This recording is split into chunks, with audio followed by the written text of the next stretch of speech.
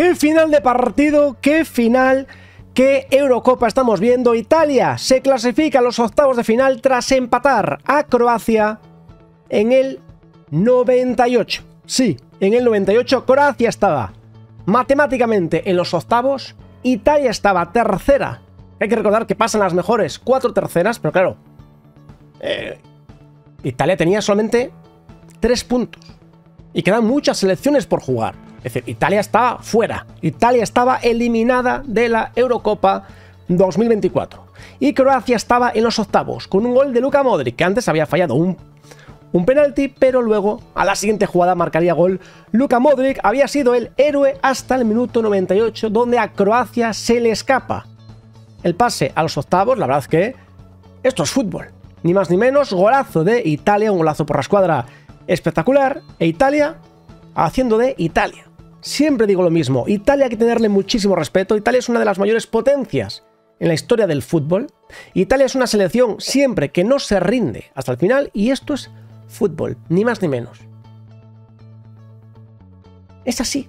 En 30 segundos, faltaban 30 segundos y Croacia estaba en los octavos. No han defendido bien, no han estado nada concentrados, yo creo que pensaban que ya estaba hecho. Y golpe de Italia en el último segundo prácticamente Italia estará en los octavos y Croacia, a ver, aún no es matemático, pero yo creo que ya está fuera. Evidentemente está fuera porque estamos hablando que tiene dos puntos. Es imposible que pase, yo creo que es imposible y está fuera. Está fuera porque quedan muchos equipos por jugar, hay equipos que ya tienen tres, es decir, Croacia eliminada de la Eurocopa 2024. Es verdad que creo que han competido bien, creo que hoy han hecho un partido muy bueno. También es cierto que les ha tocado un grupo complicado. Ahora vamos también con España, con lo que ha sido la victoria de España. Pleno de victorias España. España pasa como primera, pasa de manera sobrada.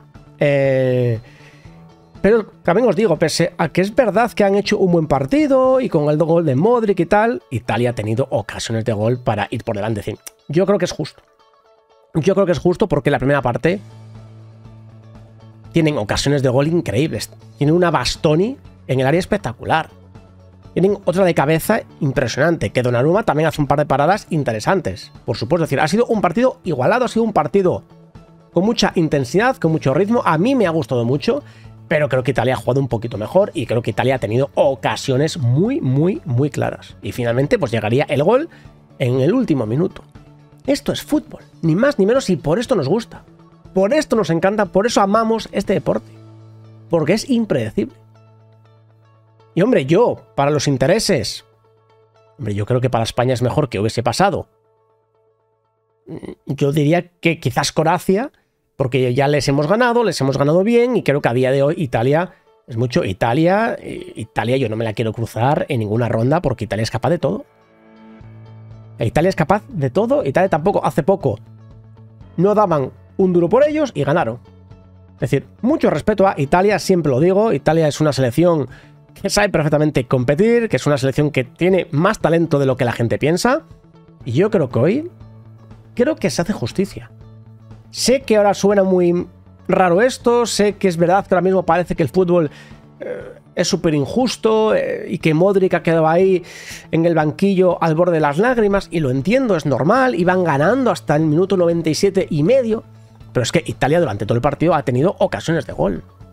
Han tenido muchas ocasiones de gol, han generado, han generado juego, han generado fútbol.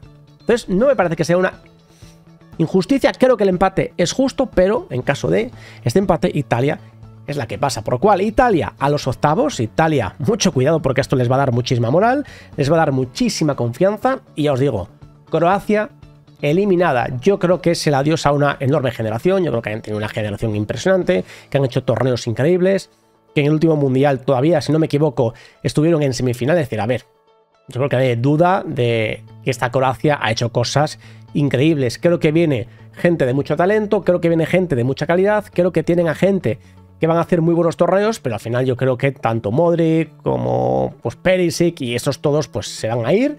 Creo que van a dejar, por supuesto, todo a un nivel muy alto.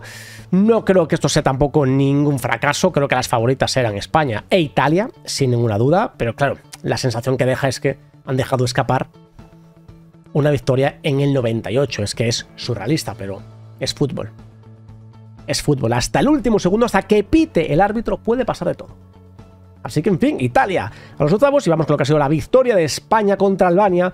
0-1, gol de Ferran Torres. España con suplentes hace pleno de victorias. España sigue estando a un nivel muy alto. Es verdad que Albania tuvo luego dos, dos o tres ocasiones muy buenas, donde Raya ha hecho un par de paradones. Es cierto, ellos tenían que ganar, ellos tenían que ir con todo, es normal que fuesen mucho más valientes. España ha salido con todos suplentes. Con todos y aún así ha jugado bien. Luego al final sí que se dio pues tanto Lamin como Morata. Pero España fue con suplentes. Creo que ha hecho un muy buen trabajo. España hoy ha salido súper relajada. Y llegaría el gol con pase de Dani Olmo. Gran pase de Olmo para Ferran Torres. Y Ferran Torres, gol. Muy bien, Ferran Torres tiene un promedio de goles con España espectacular, siempre súper criticado, que no merecía ir, pero tú ves las estadísticas de Ferran Torres con España y son increíbles. Si no me equivoco, me parece que promedia un gol cada dos partidos, porque lleva como 20 goles o 20 y algo en 40 partidos. Es una auténtica barbaridad. Es una auténtica barbaridad y Ferran Torres en la selección rinde. Rinde Calvaria finalmente ha merecido un poquito más. Bueno, pero porque España estaba súper relajada. Es así. Es así, pero bueno. ¿Qué jornada? En un ratito empieza la Copa América. La verdad es que llevo unos días que no he dormido nada. Em, están siendo días eh, también a nivel personal de muchas emociones. Pronto os contaré alguna cosa, eh, pero ya os digo, son días que estoy hasta saturado. Pero bueno, eh, ha sido bonito, sinceramente, esto.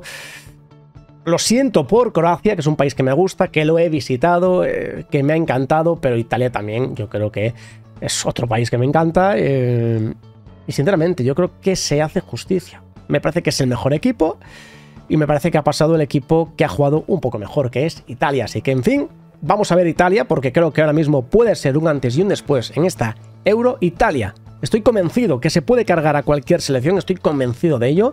España, muy buenas sensaciones, otra vez un partido que reitero, mucho más relajados, sabiendo que ya estamos clasificados, pero cumpliendo pleno de victorias para España. Hacía mucho tiempo que no lo veía y la verdad, y hay que decirlo, creo que España con Luis de la Fuente ha mejorado. Yo pienso que sí. Yo pienso que sí, y hoy por supuesto había que salir con los suplentes porque no tenía ninguna necesidad de salir con todos los titulares. En fin, quiero saber vuestra opinión, qué os ha parecido esta jornada, qué os ha parecido estos partidos, qué os parece lo de Modri, lo de Italia y lo de España y Ferran Torres. En fin, todo en los comentarios. Apoyad este vídeo como siempre hacéis con vuestro enorme like. Muchísimas gracias por el apoyo que me estáis dando. Suscribiros a este canal si no lo estáis, ya somos 622.000. Muchísimas gracias, estamos haciendo una comunidad impresionante y nos vemos en el siguiente vídeo. Un saludo.